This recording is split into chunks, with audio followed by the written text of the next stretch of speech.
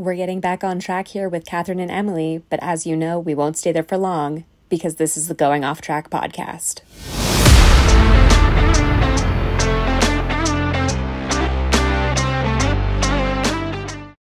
Hello, hello, and welcome to the Going Off Track podcast.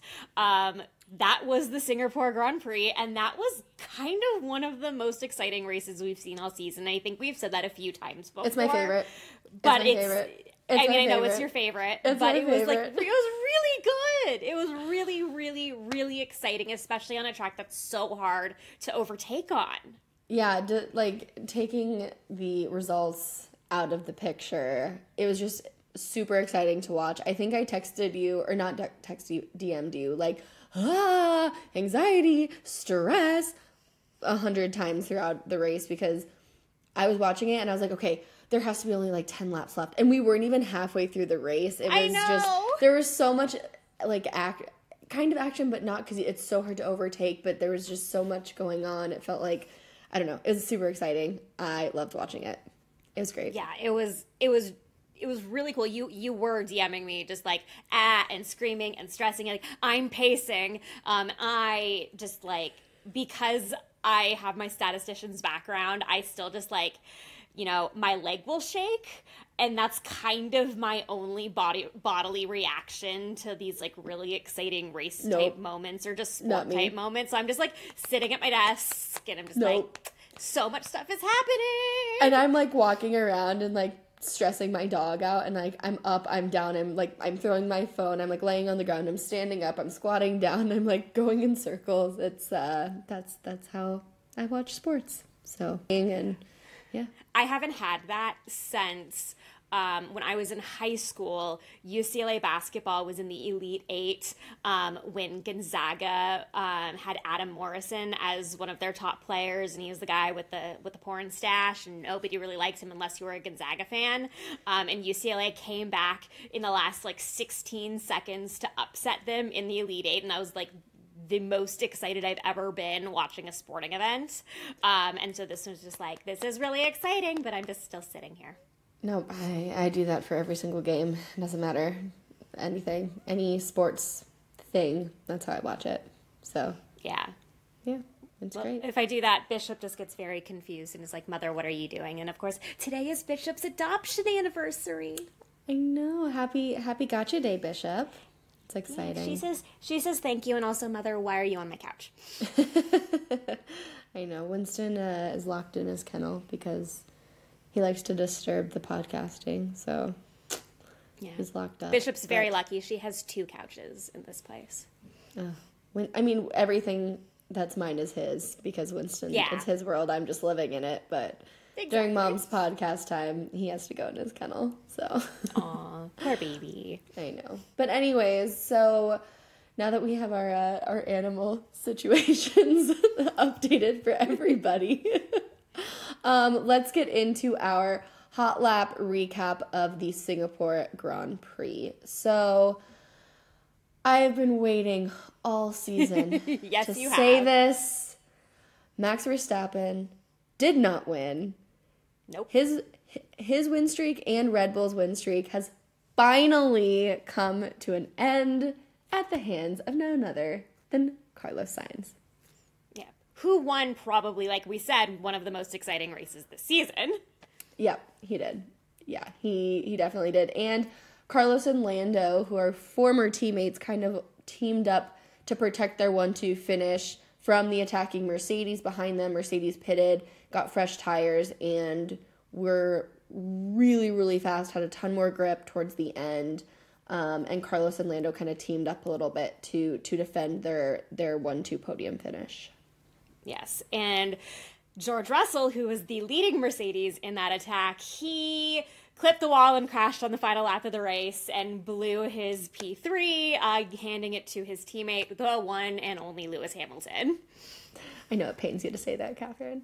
I mean, it's like I don't really care, but it's it's just like we'll talk about this later. But Lewis is just so sneaky with how he gets points, and I'll leave it at that. Um, but taking a few places down the results, um, but still in the points was Liam Lawson, Um, he drove so so well. He ended up P9, which blew my prediction, which again we'll talk about later, which is fine. But he is making things super complicated at AlphaTauri for 2024. Um, for their race lineup, we all have been talking about who is going to actually race for AlphaTauri next year. They have two seats open, no contracts are signed, so Liam's definitely making things interesting. And it should be noted that he's the only rookie, rookie in F1 history to get points in Singapore. So I'd say good on you, Liam. Another great weekend for him. Yeah, he, he is really making a statement with every opportunity he has to be in that car. Yeah. And let's get into the, the weekend because there were a whole lot of other things that were happening. There were, there were, again, my favorite thing to talk about contracts. Contracts! so we did get a con- confirmation Zhou Guanyu will be racing for Alfa Romeo in 2024. Um, I know on our prediction podcast, it came out, and then like a few hours later, they confirmed it. So just to give you guys an update, if you did not see, he will be driving for Alfa Romeo next year. I think it's really good for the sport. I think it's really exciting. Um, he gets again, to drive in his home race in China next season. Yeah, I'm really. That's what I'm really hoping hope. for is that China comes back because we haven't had the China race for a really long time with COVID and COVID restrictions. So hoping that he'll finally get to race in his home race. Um, now the only contracts that we don't have signed yet, or you know, seats filled, um, no driverless cars. Um, call back to last episode, um, is AlphaTauri and Williams. So Sargeant seat is still up for grabs a little bit, and the AlphaTauri, both seats in AlphaTauri are open. So there are th- still three drivers to be confirmed for the 2024 season. Yeah, and three drivers available for just two seats at one team.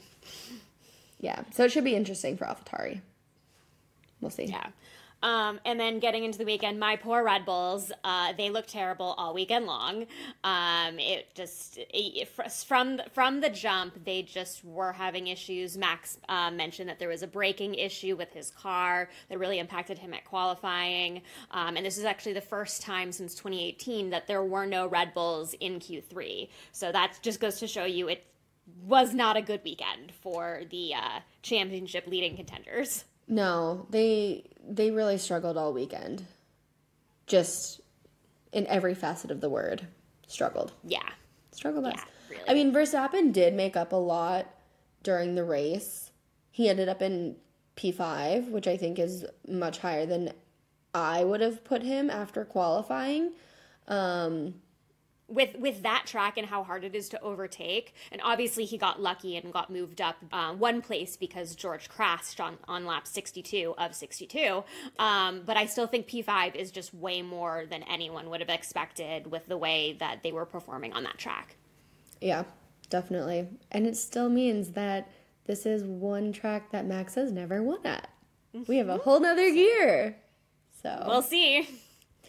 That's exciting um, and then moving into quali, we had some real scary seconds with Lance Stroll. So, yeah. it, depending on what broadcast you were watching, or if you were watching the broadcast, you kind of were like riding along as it was happening. Yeah, um, that was very abrupt. Which was really, yeah, just kind of out of nowhere and kind of a little scary to. Not that we're in the car with him, obviously, but watching it as it happens because normally with crashes i feel like we kind of get the replay or they'll slow it down or they show a different angle but this was you know the top of the car view seeing it go around seeing his head kind of like be thrown everywhere. Um it was a little like you know heart to the butt moment of oh my gosh is he okay? And that car looked terrible. I swear i mean i know nothing about any of this you know where how far into the car was damaged but i it feels like it could have gone one or two more inches and he would have had broken legs like the front of the car was so so damaged yeah, I mean they they really they've done a really good job over the years, especially with like Romain Grosjean's um, crash when he was driving at Haas in 2020. Um, really, that that that really made a, a, a you know a statement for all Formula One cars of you know driver safety and the importance of driver safety and you know things like you know the halo and all the other things that they do to make sure that the part of the car where the drivers are sitting is as you know safe as possible no matter what you know happens to the rest of the car. Yeah. um, and i think that that's that's really important is like the survival cell is as what they call it is that stayed intact. And he was able to get out of the car on his own power. Um, and you know he, he was he walked himself straight to, to the medical car. Um, but it was still not surprising that you know he did not race to you know I, I, I would have been shocked to see him in a car today Oh yeah, for sure. I mean, we both I think immediately were like, "Oh, he's going into concussion protocol." Like that yep. looks like he has a concussion. And they never came out outright and said, "Oh, he has a concussion," but they just said he's still feeling the effects from the crash. He will not be racing on um, today. So it came out this morning that he wasn't going to race. And so to take a step back and think, okay, well when Danny got hurt, Liam Lawson came in and subbed for him, why was there no sub for Lance Stroll? Well, in order to have a sub, you have to participate in qualifying. So Danny got hurt in one of the free practices. Liam Lawson was able to do to participate in qualifying and then he could race as well. Lance, this happened in qualifying, so no other driver was able to qualify in that second seat for Aston Martin. So no one was able to sub for Aston Martin um, for Lance Stroll, so it was just a withdrawal from the race, and there were only 19 drivers starting in the race. Yeah, and unfortunately for Aston Martin, and we'll talk about how Alonso did a little bit later, but it was not really a great weekend for them. It wasn't. Not at all. It was not. No. But it was a great weekend for three drivers who ended up on the podium.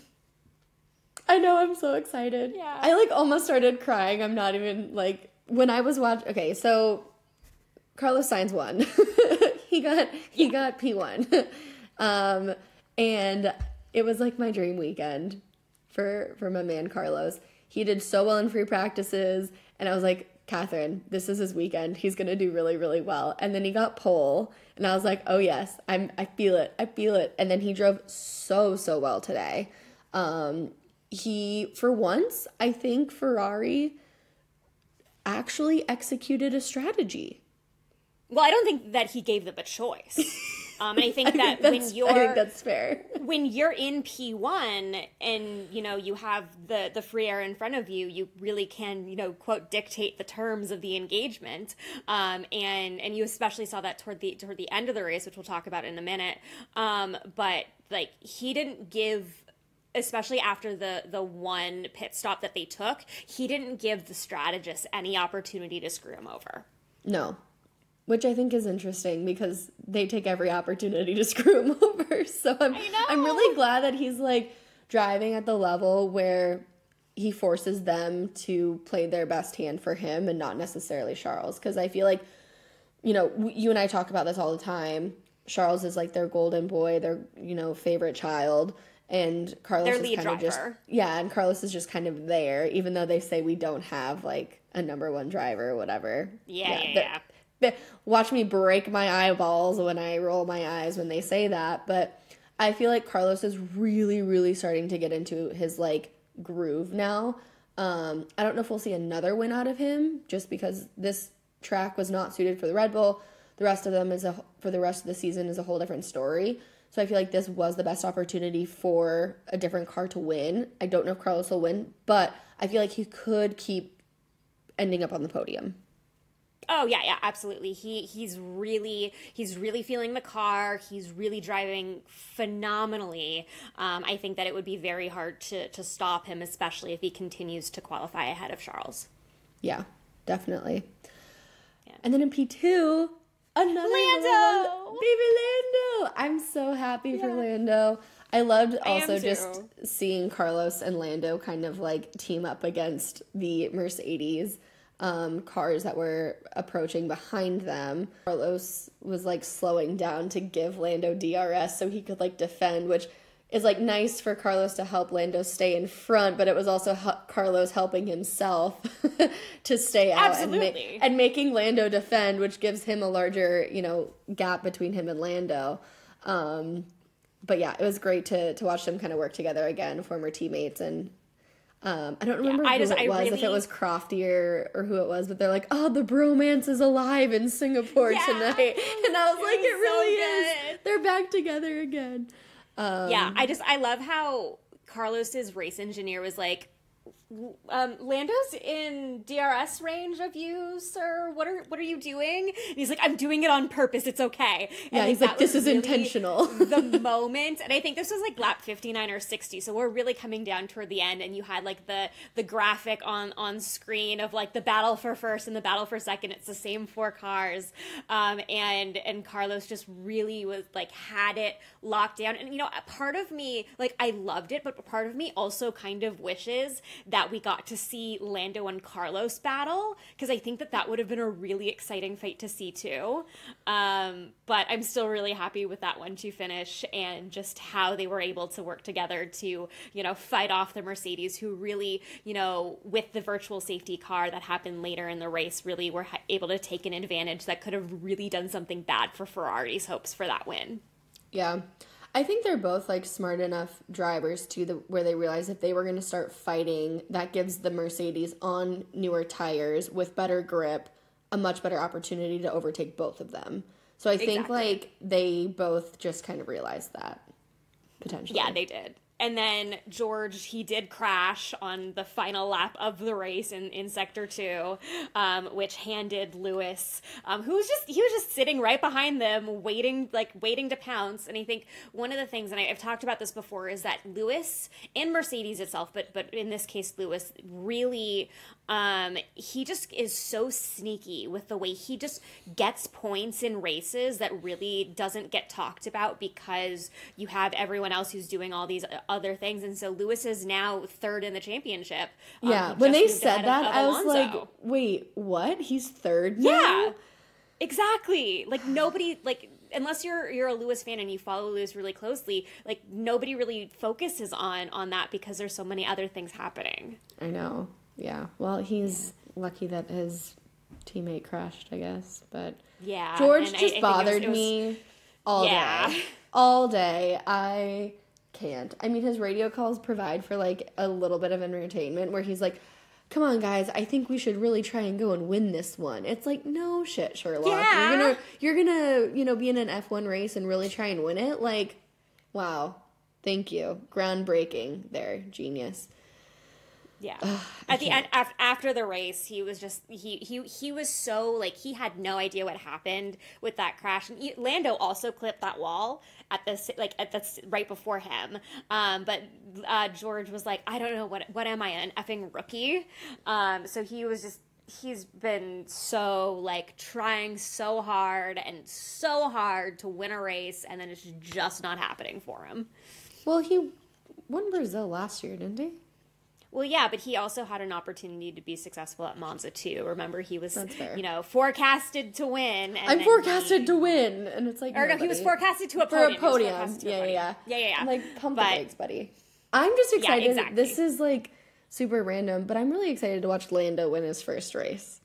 Oh my god, it's gonna be amazing. The yeah. champagne like, shower that will happen from Lando if he wins a race is like move the trophies because they're all going to be broken. Like it'll yeah. be that Speaking level of excitement. Of champagne, um, Carlos because Carlos won, and this was Fred Vasseur's first Ferrari win as team principal. He went up to accept the constructors trophy, and then after the ESPN feed cut off and they were still showing it on F1 TV, Fred Vasseur literally took the bottle and upended Just it into poured. the back of Carlos's race suit and poured it down. It was amazing. They were having so much fun. I just loved it so much. Whole thing. It was great. And like Lewis was nowhere to be found, and like Lando and yeah. Fred and and uh, Carlos are having the time of their lives. But yeah, I just, it's exciting.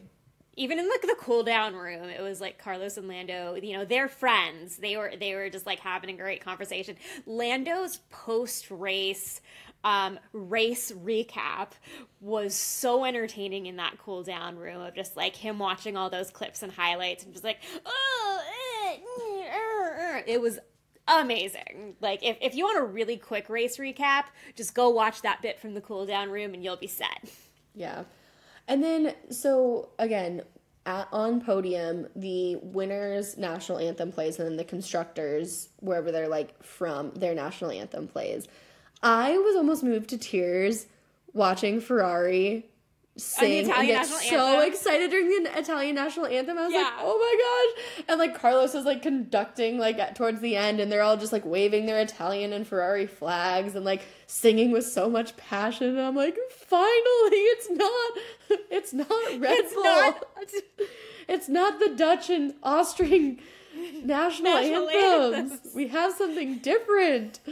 Oh, was Yeah, so that was exciting that was fun. it was a really cool thing to see like all of them were singing in italian obviously but like belting at the top of their lungs. And i feel like we don't get that with red bull. Like they're just kind of there and they're all just like standing there like yes we have won again. You you kind of have to like wonder what it would have been like for Carlos to have won at Monza last last two weeks ago. Um, the That would been- tifosi. Oh my god! have been- yeah, oh they would have gone off their rockers but um, yeah, it would have been amazing. but still cool still cool Yeah. i don't know So moving moving on back on down, we got to talk about AlphaTauri a little bit. Uh, we got to talk about Liam Lawson versus Yuki Tsunoda versus Danny Ricciardo, and unfortunately, the the overarching storyline is just how screwed is Yuki for next year. I know. I know. He's not doing too It's- well. We had a DNS in Monza.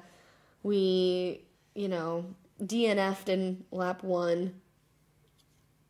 he hasn't finished Singapore. a full race since Zandvoort, and even that was he finished P15, and that was the that was Lawson's first race where he finished two places ahead of him. Um, so it's it's really it has it is not looking good. I remember um, the it was it, he he was off the track very quickly, and and Bernie Collins was like. Did he really just retire the car from a puncture? Um, and I, I thought that was interesting. But then he came out after the race and, and said that there was co- collision damage because he and Perez came together on that first lap. Um, and, and he basically said that there was like radiator damage and coolant. There was a coolant issue, so he had to retire the car. Yeah. Ah, of course it was Checo's fault. Well, I don't think it was Checo's fault. We actually never. Saw I'm kidding. I'm You kidding. need to. I No, know I- you don't like Checo, but it's not always Checo's fault. No, we did get a replay of it. Cause remember, cause I was talking, I was like, wait, what Red Bull and AlphaTauri just hit? Cause like it was so so fast Oh, yeah, that yeah, they like showed it, but then they didn't actually say who it was. So I was like, wait, was that Max? Was that Checo? Like who hit who? Who is where? Because like I feel like the first two laps were just mayhem. I had no idea where anyone so was. many things were happening. Yeah, yeah. so much was happening, Um, and then it finally like kind of slowed down. And but yeah, it was very interesting. This is a very interesting track because you have to like really they really managed it. They didn't just race; they managed the people behind them based on like where people would come out pitting, and they wanted to keep it very tight. And Carlos didn't really truly max out the speed on that Ferrari. It was more about like managing the people behind him and slowing people up. George kept saying that. Um, yeah.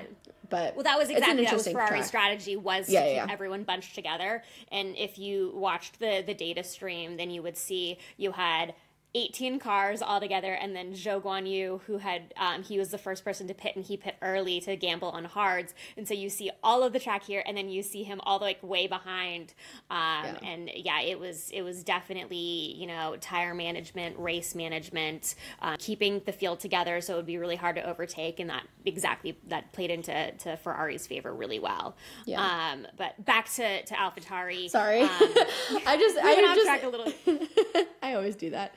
Yeah. Um, uh, AlphaTauri's CEO Peter Bayer confirmed that Lawson will race at Suzuka next week. That hasn't officially been announced pretty much anywhere else other than one tweet that I saw when I was looking for it. So I'm going to assume that that's what's happening here. I think that considering how familiar Lawson is with um, the Suzuka track, because that's where he races in Super Formula in Japan, you have to assume that he's going to be, you know, in that race, no matter how much, you know, no matter how recovered Daniel is. Yeah, no, and, and that's what everyone's been saying. Like, if he races in Singapore, he'll keep racing in Suzuka just because he knows the track super well. They pull about the same G's in Super Formula as F1, so it's not a track where he isn't, you know, used to or comfortable driving it. Um, it wouldn't make sense to to pull him out now um, and just rush Daniel's recovery if he's not Ex- quite there. exactly. Yeah. Plus, I mean, And it's no not like he's rookie- doing bad. He got points. Yeah, no rookie's ever scored points at Singapore. Like that's that's huge. And Yeah. and Lawson Lawson really made a statement today. Um, what do you think, Emily? Is is how is Lawson's performance? Is this bad for Daniel or is this bad for Yuki? Well, I'm gonna throw a curveball and mm-hmm. give my my unsolicited opinion here. Oh yeah, of- yeah. it's not happening. It's not happening. It's not bad for Daniel. It's not bad for Yuki. It's actually bad for Checo. That's what I'm gonna say because, I mean, Checo. See, I know it's like fine and whatever, but maybe in the future this is bad for Checo. But I really think at some point Daniel will end up driving with Max again for Red Bull. I think it's Oh, I don't disagree with you on that. I so don't I disagree think at all. I think Lawson driving super super well will confirm his seat for AlphaTauri. Yuki will become a reserve driver, like the third driver for Red Bull, kind of like Danny was this year. And then we'll just do a switcheroo again in 2025. So Daniel will move to Red Bull, Yuki will come back to AlphaTauri, and then it'll be Lawson and AlphaTauri as well. So Yeah, I think ultimately that it's bad for Checo. logical. Yeah, and I'm I'm not thinking that this is a, a you know I'm not thinking about this impacting Checo for 2024. I I think that he's going to stay at Red Bull. Um, and but in that case, that would be bad for Yuki. But also, I think it could also be bad for Daniel, to be honest. Well, it it Daniel needs to prove that he can drive the car better, and he has to beat Yuki when he comes back um, into the car, assuming that this will be at the Qatar Grand Prix. Um, so that's it. It really all comes down to what is Daniel going to do when he gets back in the car because Lawson has already proved that he can drive this car and he can drive it well and score points in it. So then it's really a matter of what can Daniel do with the rest of the time that he has available to him.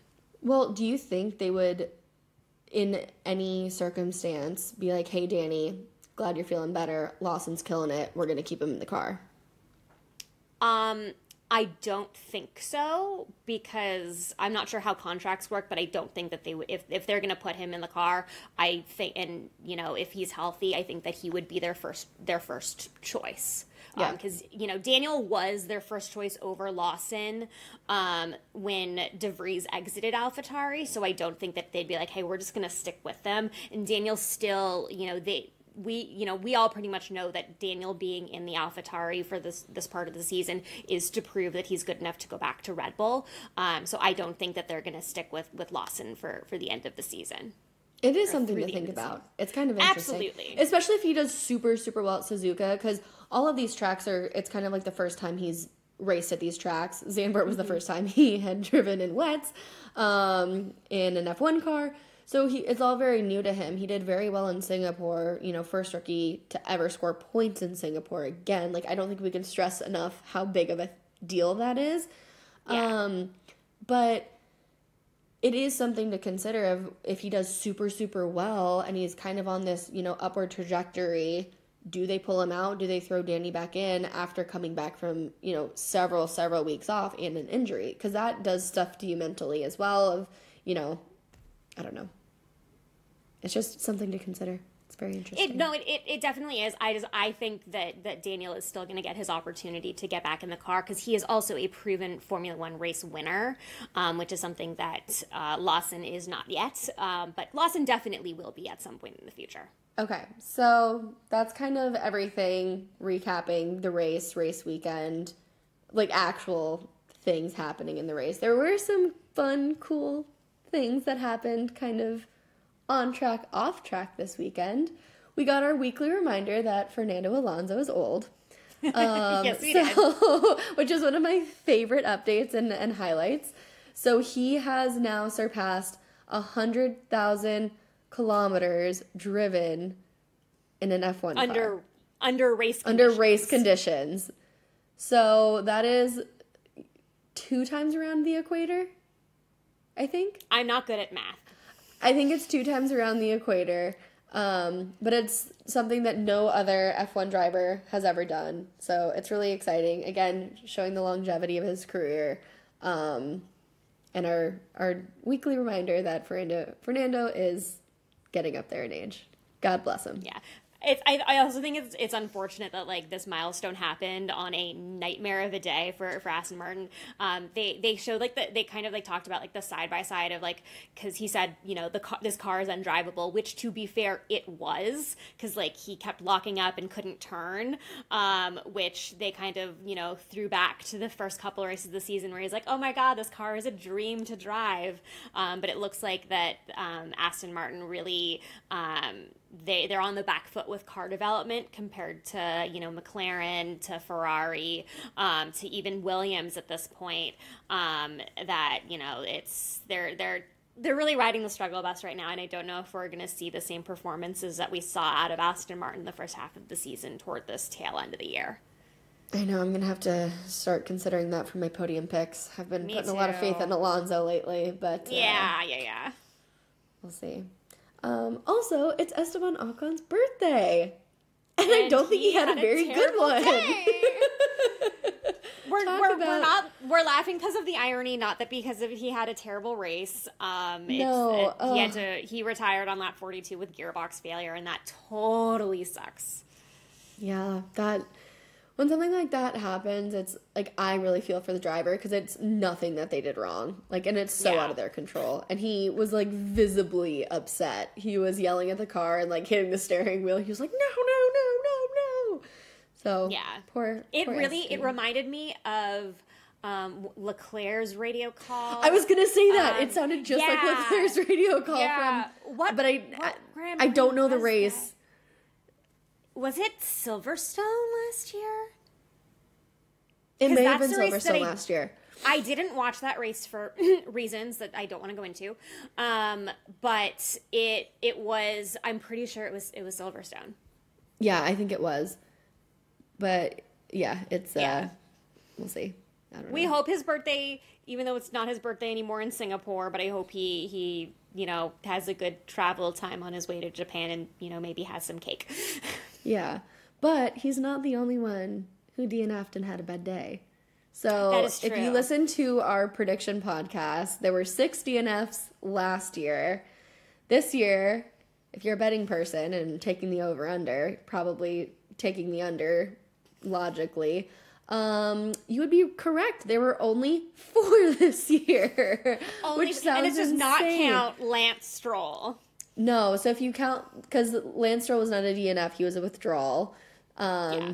So we started with 19 to begin with, but Yuki DNF'd in lap one, Esteban Ocon, um, Valtteri Bottas, and George Russell all also um, DNF'd. I think it's funny how like Yuki and George be- uh, bookend it. Yuki out in lap one, George out on the last lap horrible times to DNF. Never good to DNF in general, but like on the first and last lap, that's a little brutal. So um, yeah, some some other DNFs there for you. But Yeah. and then I didn't get to see this, but Will Buxton, who is a journalist presenter um, with Formula One TV. With Formula One TV, was giving everybody popsicles because it's so freaking hot. Yeah, it was it was so great. I, so I was watching the the post race show, um, and like every time a driver came up, and I think they talked to like five drivers. They talked to a bunch, and the, it, everyone's like, "Do you want an ice lolly?" And I'm just like, "Oh my god, they're just handing out popsicles." And I, like I think of the drivers who were on the post race show, most of them said yes, and he just like had a little bucket under his little like you know That's table so thing that they have in front of it. It was it was just so cute and like obviously like that's exact like exactly what you're gonna want after driving in those cars. Like they just everybody looked like drenched in sweat um coming coming out of those cars. Like i you know it, it's one of the toughest races um on you know on the calendar for a reason. It it's not just because it's hard to overtake but the environment is just so challenging um, Well, they all like go into special training just to get used to the conditions. Like they're all riding bikes in saunas and heated rooms and with like full gear on, and it looks and Absolutely taking terrible. ice baths and having their social media people filming them ha- taking ice baths like so watching many some ice of bath the videos. people. Oh my gosh, I'm watching some. I don't remember which team it was. I oh I think McLaren. Whoever did the ice bath, he's like, "Isn't it great? I'm so proud of myself for making this." Like it was so funny. Like they're all trying to, but everybody's team, like I don't know, trainer, whatever, who's doing these ice baths for him, was like trying to one up the others, and don't know, Yeah. it's funny. And Carlos always has the rubber duckies in his, and it's it was really really cool to see. Yeah, the video from Mercedes with um, George and Lewis was really great because you Oh got my George God. who's just like, oh And it just God, depicts their amazing." personalities and then so Lewis is just sitting like, dude, I'm trying to find my zen right now. Can you just shut up? It But it's very much like them. so like George is like, "Hey, buddy, what are we doing? Hey, guy, hey, hey, hey, hey." He reminds me of um the dog from Up sometimes, where it's Oh, just like he just kind of like pops in and he's like, "Hey, hey, what's going on? What are we talking about?" He's just like kind of there always, and Lewis is like, "Take a beat, Yeah. please." yeah, I- we're, we're good. Not, not right now, but it was it was it was a delightful bit of, of social media from the Mercedes social media admins. So good job to you. yeah, it was it was good. let us go and take a look back at our race predictions, which were probably about 80% incorrect.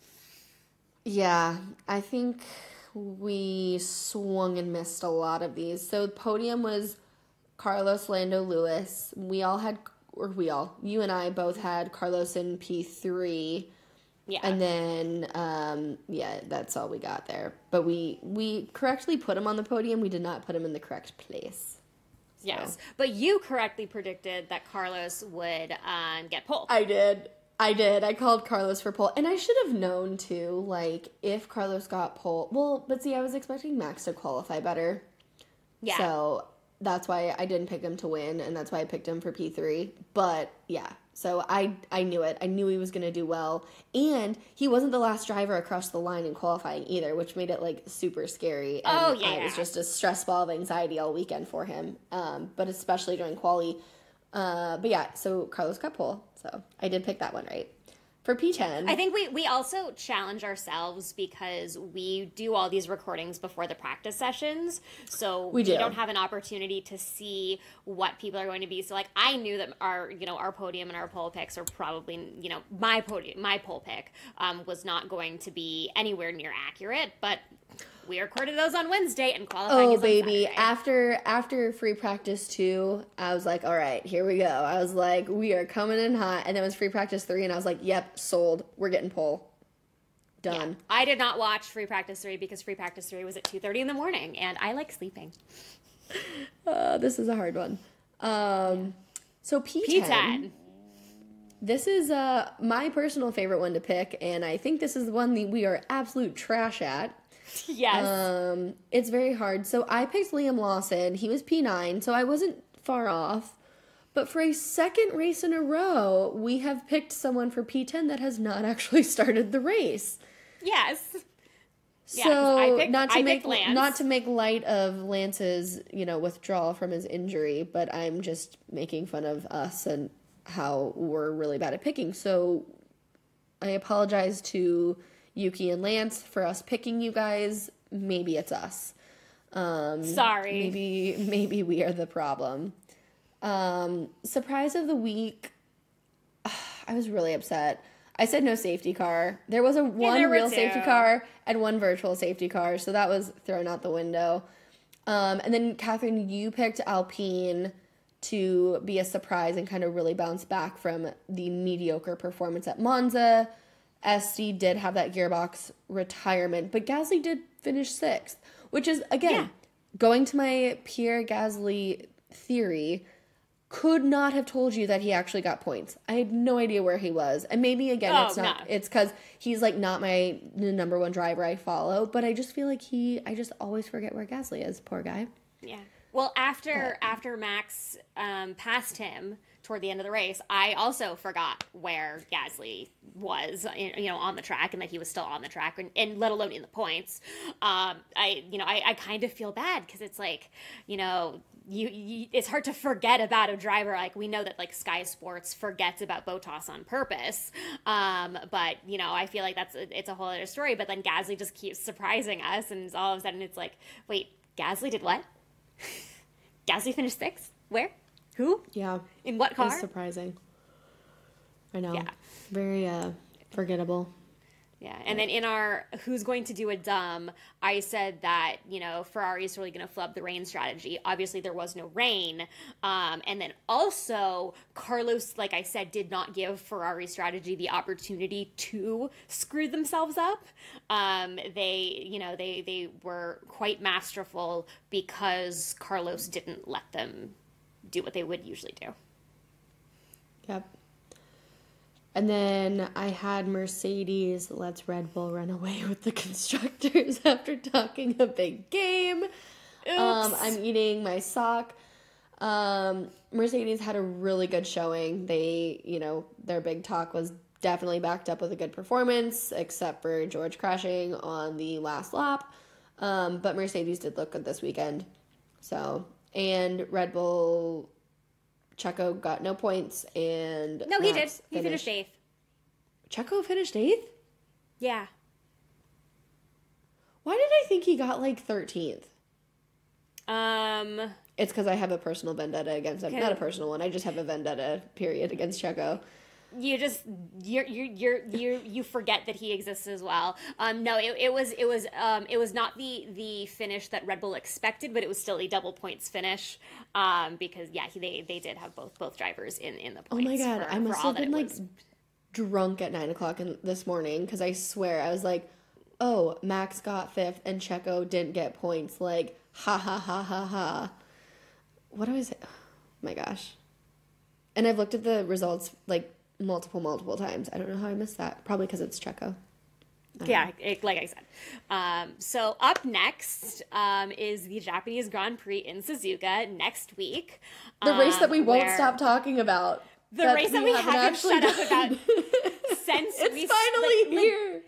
Legitimately since we've started this podcast we have talked about the japanese grand prix um, and so we will continue to talk about the japanese grand prix and our feelings about the japanese grand prix and especially you know what happened last season um, Yes. so buckle up for that because this girl has some opinions um, about things that happened last year um, And Emily has agreed to give her up to a four minute soapbox to talk about it. Aw, so. thanks friend You're welcome. Five minutes, track limits. Four minutes, you're on target. You're doing great good. great great thanks thanks i appreciate that You're welcome. You're welcome. No, because I missed the Japanese Grand Prix last year, so you, You are more than welcome. it, yes. Well, I wouldn't say slept through it. It was like three o'clock in the morning, and it's Yeah, not I a mean- convenient time for me. Well, well, not only was it not a convenient time for you, but it was also delayed over an hour because of the weather.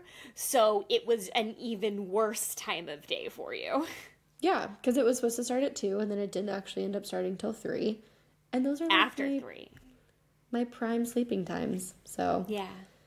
there's a difference between like either staying up through the race and just being miserable the entire next day or like going to sleep for like two hours and waking up there's a difference from that than your situation where you have to wake up at like 4.30 very different Yeah. As with last week, I took a nap after the race. Um, know. And yeah, I mean, I won't be taking a nap after next week's race because next week's race is a night race. So after the race, I'm just going to go to bed. Um, but yeah, it, it is. Uh, we, we love us some time zones, and uh, Suzuka is going to be quite the entertaining race. Um, and we're looking forward to it. yeah and also we have some exciting news we're up to 100 followers on instagram which is super exciting so um, if you don't already follow us on instagram please do so at going Going. off dot Track. track Yes. Um, so make sure to follow us on Instagram and we will have our Suzuka or Japanese Grand Prix preview prediction podcast coming out on Thursday. That's it for the podcast. Thanks for going off track with us, guys.